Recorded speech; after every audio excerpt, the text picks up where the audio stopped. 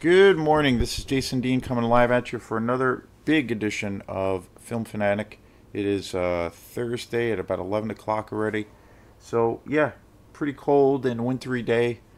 Um, so, want to thank again, there's been a whole new uh, batch of people who have been subscribing to uh, my channel who uh, see some fun in my madness, and I really appreciate it. And I've been interacting with some newer folks on YouTube who have been commenting on the videos. Uh, I really love that. I have a deep, uh, you know, deep love uh, appreciation for film, and I love being able to, for what it's worth, being able to share that to the public. You know, looking back at last year in 2023, it's been, you know, a, a, quite a little bit of a journey for my venture into covering movies. You know, about five years ago, well, I should say about actually seven years ago, I started. I talked with a couple of friends about maybe the idea because they all knew that I was really into film, and I talked with a couple of friends about what do you guys think about me if I started, uh, you know, a Facebook page uh, just about movies. And I had a couple of friends say, "Yeah, you should definitely do that. You know, you you're you're really passionate about films. You love films, so why not do it?" So, so then I did. I set up a, a film fanatic. Um, it was or it still is obviously called Film Fanatic. I started. I, I set up a Facebook page, and it was a blast. It was a lot of fun, and I was reviewing movies, talking a lot about mostly newer films at the time, and I did that for a few years quite a few years. And then I had this feeling of wanting to kind of go a little bit further. And then I started doing the Facebook Live videos. And, um, and that was a lot of fun because I had never uh, really felt comfortable speaking in public or on camera and all of those things. I've always felt it's uh, like a hurdle for me. But I wanted to kind of do it to kind of push it a little bit more. And I so I started doing the Facebook Live videos, and it was a lot of fun. And I learned a lot, and I got I noticed over some you know over a period of time I started getting some extra traction uh, with the with the page, and you know quite a few people were responding to the videos and watching the videos, and I did that for a while, and then I started doing interview segments. I had a few guests on the show, and it was great. It was a lot of fun, a lot to learn. Um, you know, especially on the tech side, and then so that spurred on the idea of eventually doing uh, I eventually, after that, started actually writing reviews, formal uh, written reviews that were published online and that they are actual uh, publications. I started writing reviews, film reviews for Opera House Video, which is my favorite and really the only video shop here in Maine. And I still go there, have a great connection with those guys, Dennis Howard. So I started writing these reviews, and I did that whole kind of kind of a job for about probably about a year and a half, and that was a lot of fun. Again, a whole nother thing to learn um, about.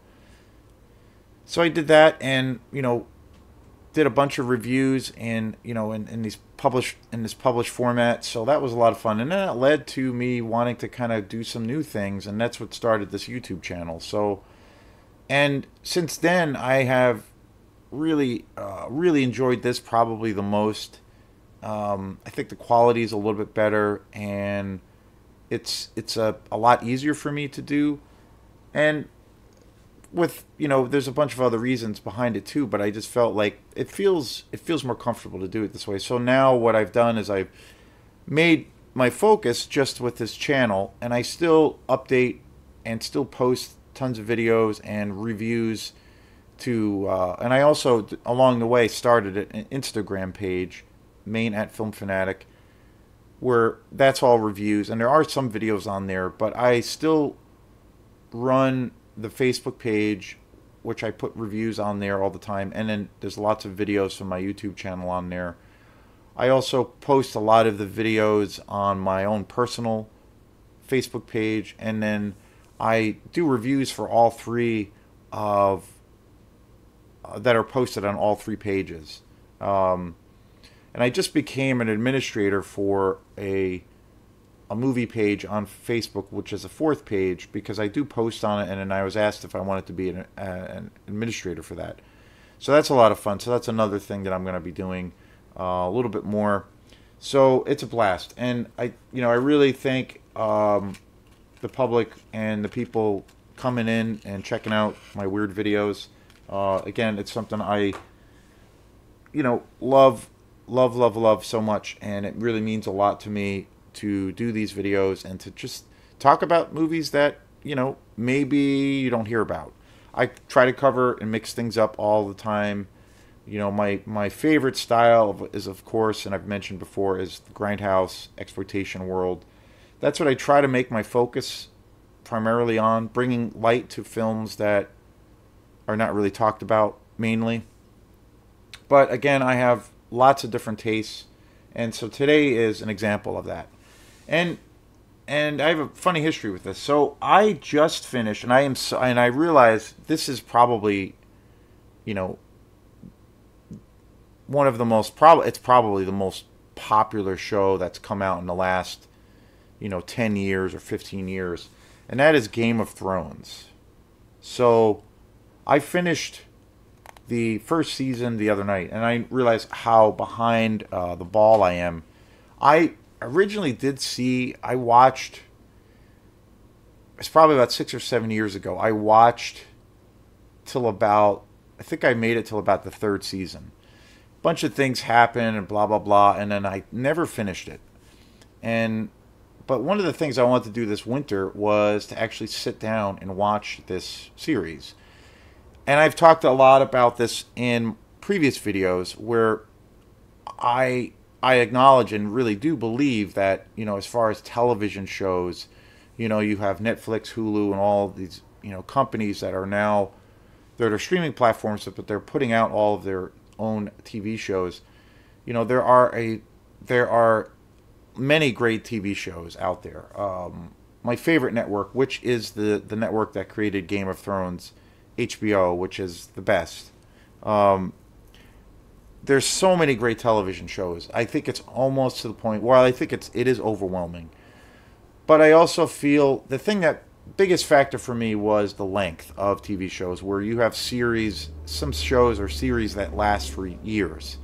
Uh, the Walking Dead, which has been on for I don't know 50 years, uh, and Game of Thrones was on for a very very long time, and there's a bunch of other shows that were on on for years. So that to me has always been daunting.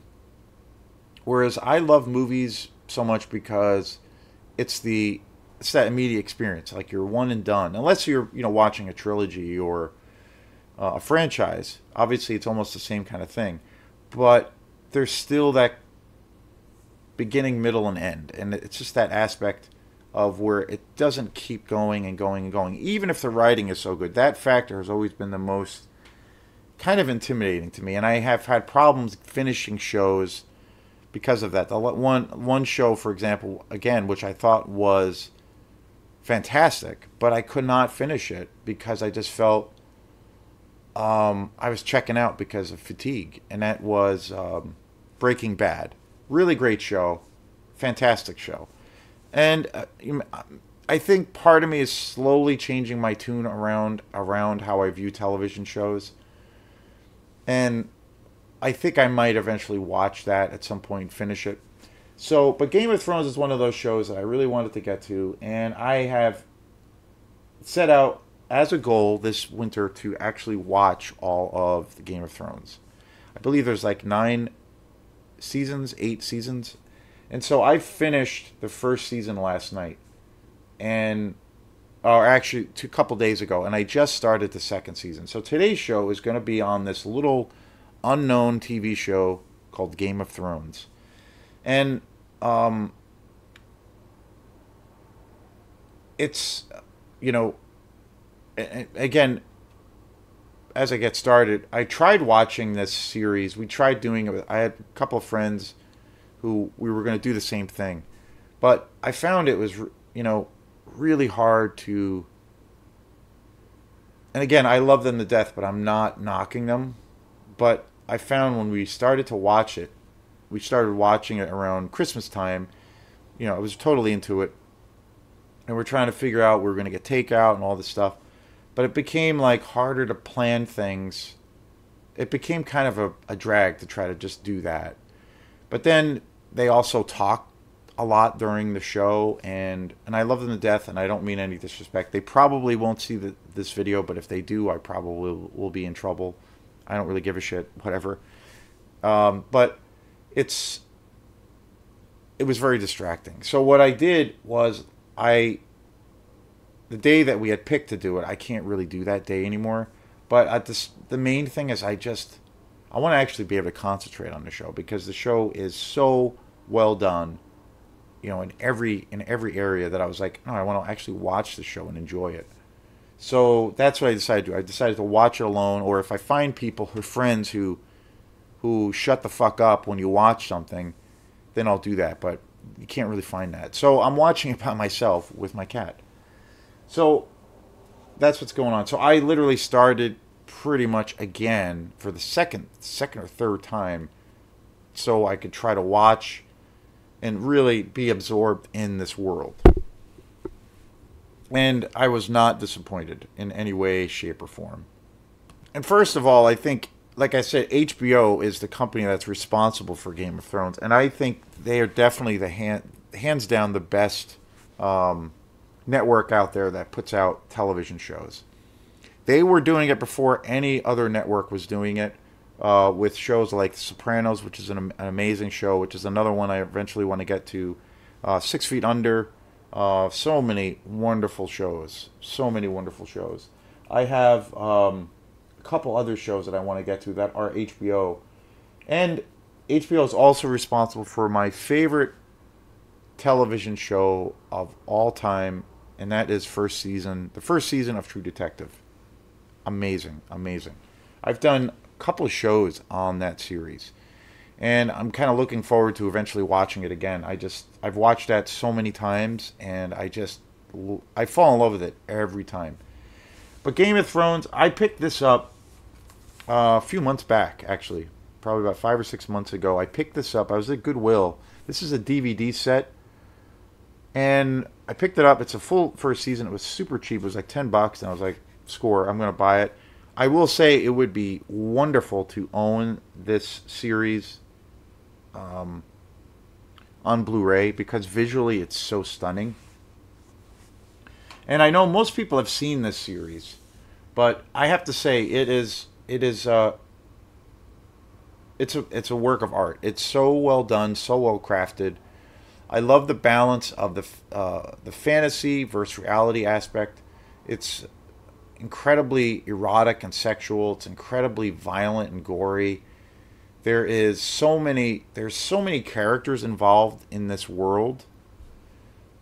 And everything is so uh, brilliant brilliantly and or masterfully fleshed out. Like within about five or ten minutes of the of the first episode i care about everyone and everything that i see on screen they all have personality they all are you all you, you I found myself automatically having a sense of empathy and I cared about all of these characters. The thing about that's so great about the writing for the show is it has a level of I mean it's very dark and but it has a level of where it goes into lots of unpre you don't see it coming. You have to really pay attention. The film the show is really about you know the pursuit of power what that entails corruption uh, greed.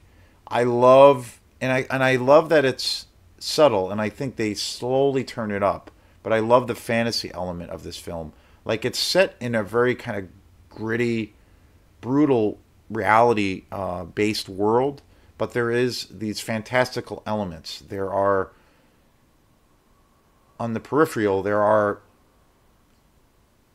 things of magic and dragons and and uh, ghosts and these really great fantasy horror driven um, aesthetics that kind of surround the show. And i love that they kind of go into that. So it kind of is in this alternate the game of thrones show is kind of set in this alternate reality.